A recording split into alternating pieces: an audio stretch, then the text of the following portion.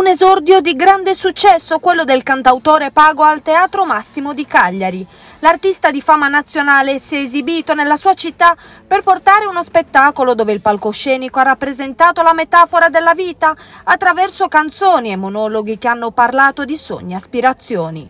Purtroppo c'è tanta gente che eh, demoralizzata non ha tanta voglia, eh, però i sogni esistono, ce li abbiamo tutti, bisogna solamente cercarli e e portarli avanti.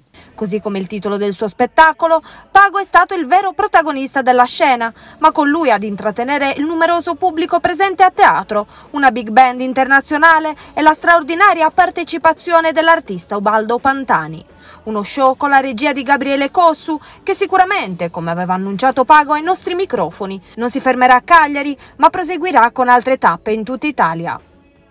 Abbiamo intenzione di portarlo in giro per tutta l'Italia eh, ed è sicuramente il, eh, un nuovo inizio, come posso definirlo, per me che mi cimento in teatro, mi cimento con, con la parte mia da attore che non avevo ancora, eh, come si dice, provato a fare proprio su un palco del genere.